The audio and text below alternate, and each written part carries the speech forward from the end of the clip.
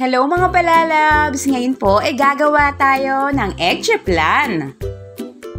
Isang napaka-cute at napakasarap na recipe ang ating gagawin ngayon. Tara na po at samahan niyo uli ang inyong mommy labs sa pagluluto nito. Sa ating leche plan recipe ngayon ay gagamit po tayo ng limang pirasong itlog. Pero mga palalabs, hindi lang po yung laman ng itlog ang ating gagamitin, pati na rin po yung ating eggshell. Ang gagawin lang po natin ay dahan-dahan po nating butasan ang pinakaibabaw ng itlog at doon po lalabas yung ating egg yolk at egg whites. Hanggat maaari po ay ingatan natin ang ating eggshell na huwag naman pong masirang mabuti. Ganito lang po kalaki ang ginagawa kong butas para sa ating eggshell.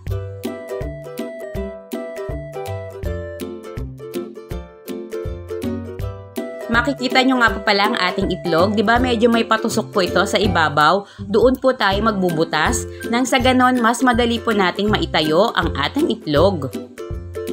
Again, ganito lang po ang proseso ng pagtatanggal natin ng ating egg yolk at egg white sa ating eggshells.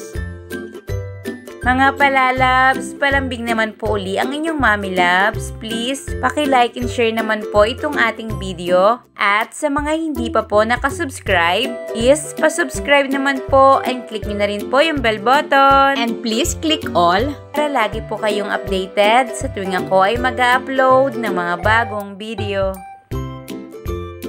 You can also join us nga po pala sa ating Facebook page. Ganun na rin po sa ating Instagram account. Just click the link sa ating pong description box.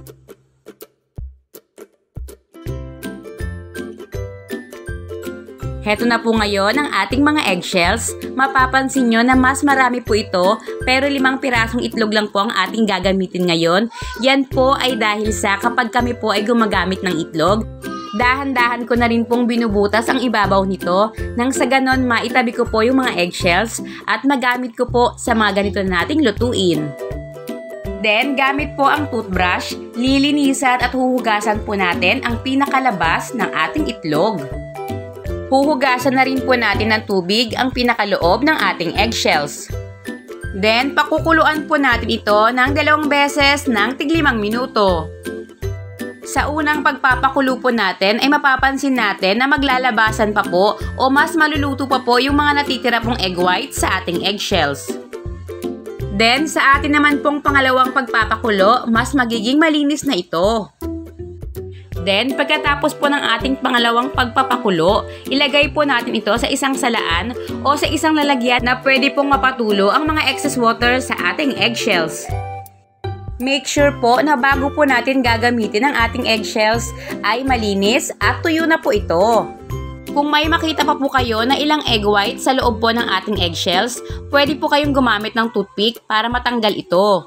Gawin naman po natin ngayon ang ating leche plan mixture. Sa isang malinis na mixing bowl na may limang pirasong itlog, maglagay rin po tayo ng isang pirasong kalamansi. Bukod sa ito po ay magsisilbing natural preservatives na, tutulong din po ang kalamansi na magtanggal ng lansa ng itlog. Then, haluan po natin ito ng 370 ml ng evaporated milk. Kahit anong brand po ay pwede. Pwede po kayong mamili, depende po sa kanilang mga presyo. Maglalagay rin po tayo ng 300 ml ng condensed milk. Again, kahit anong brand po ay pwede.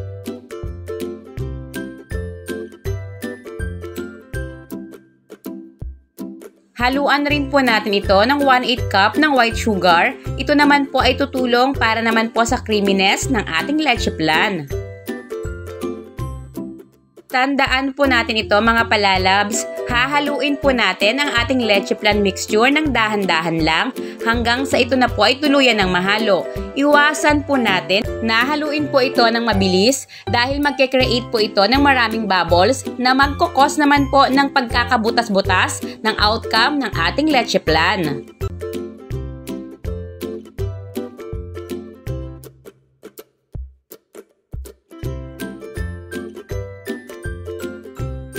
After po natin itong mahalong mabuti, mas maganda po kung sasalain natin ito ng tatlo hanggang limang beses.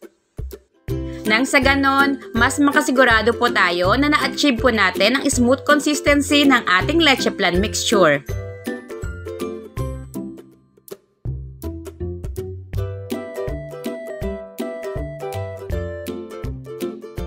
Kapag ready na po ang ating leche plan mixture, balikan na po natin ang ating mga eggshells. Gumamit lang po ako ng mga ganitong molder nang sa ganon mapatayo po natin ang ating mga eggshells. Para naman po mas madali nating masalinan ito ng ating mga mixture at madali po natin itong maisalang sa ating mga steamer. Gumamit lang po tayo ng embudo at maglalagay po tayo sa bawat eggshells ng 1 4 cup ng ating leche plan mixture. Mga palalabs, kung gusto nyo pong malaman ang buong costing at kung ilan ang ating nagagawa sa ating mga recipe, panoorin nyo po ito hanggang dulo. Ngayon ay ready na po ang ating mga eggshells. Isasalang na po natin ito sa ating steamer. Habang tayo po ay naglalagay ng mga mixture sa ating eggshells, nagpapakulo na po tayo ng tubig sa ating steamer. At kapag kulong-kulo na po ito, ilagay po natin ang lakas ng apoy sa pinaka-low heat ng ating kalan. Isa rin po yan sa sikreto kung paano ma-achieve yung makinis na outcome ng ating leche plan. At i-steam po natin ito sa pinakamahinang apoy ng ating kalan yung para lang po tayo nag-iin-in ng kanin ng 30 minutes. Huwag po natin kalimutang lagyan ng tela ang takip ng ating steamer, pero para mas makasure po tayo, pwede po nating lagyan ng foil ang pinakaibabaw o yung pinakabutas ng ating mga eggshells. After 30 minutes, mag-toothpick test po tayo. Dapat po ay malinis na ang lalabas sa ating toothpick at hindi na po basa. Kapag ganito na po, patayin na po natin ang kalan. Pero kung basa pa po, magdagdag pa po kayo ng limang minuto hanggang sa ito po ay tuluyan na pong maluto. After po natin itong maluto, palamigin po muna natin ito. Then ilagay po natin sa baba lang po ng ating refrigerator bago po natin ito kakainin o bago po natin ito ibibenta. After po nating mapalamig ang ating mga egg chiplan, pwede po natin itong lagyan ng sticker. Ito na po ang magsisilbing sealer ng ating egg chiplan at magdadagdag pa po ng disenyo sa ating egg chiplan. Pwede rin po tayong magdikit ng mga giggly eyes na katulad nito. Pwede po tayong gumamit ng mga ganitong lagayan ng itlog. Nabibili po ito ng 5 piso lang. At dito po natin ilalagay ang ating mga egg chiplan kung ito po ay ating planong ibenta. Ang kukit na po tingnan ng ating mga egg chiplan, di ba? What more kung mas magaling pa po kayong magdisenyo sa inyong mommy loves. Pwede rin po kayong mag-paint o maglagay ng iba't ibang mensahe sa ating mga egg chiplan. Napakaganda po itong ibenta, lalo na po ngayong Christmas. Pwede po kayong maglagay ng inyong Christmas greetings dito para hindi lang po maa-amaze at masasarapan ang mga bibili nito, mas matutuwa pa. And charang! Tikman na po natin ngayon ang ating napaka-cute at nakaka-amaze na egg chiplan. Mga palalab, sana po ay natuwa kayo sa ating video ngayon at makatulong po ito sa inyo, makadagdag po sa inyong mga food business nang sa ganon, mas maingganyo pa po ang inyong mommy labs na gumawa ng mga ganitong video. Tingnan niyo po mga palalabs kung gaano kasmooth ang ating leche plan sa loob ng ating eggshells. Yan po ang resulta kapag mahina lang po ang ating apoy sa pagluluto at kapag dahan-dahan lang din po ang paghahalo natin sa ating leche plan mixture. Nagpapatunay lang po na may magandang outcome ang ating pagtsatsaga sa paggawa ng ating masarap na egg plan.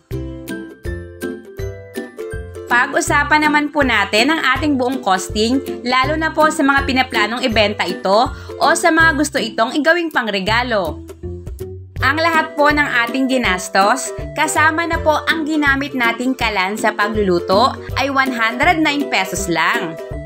At sa ating mixture ay makakagawa na po tayo ng 18 pieces ng ating masarap at napaka-cute na egg chaplan na pwedeng pwede po nating ibenta ng napakamura ng 15 pesos each lang. Kaya naman po, sa 18 pieces pa lang, ay posible na po tayong kumita ng 161 pesos. Yay! Sa mga magtatanong po about sa ating sticker, mabibili nyo lang po ito nang wala pa pong 50 centavos sa mga baking store ng ready-made na. Ganun na rin po yung mga lalagyan ng ating mga itlog. Sana po ay mayroon uli kayong natutunan ngayon kahit kaunting kaalaman. Please, don't forget to like and subscribe and click the bell button para lagi po kayong updated sa tuwing ako ay mag-upload ng mga bagong video. Maraming salamat mga palalabs! Hanggang sa muli po nating pagluluto!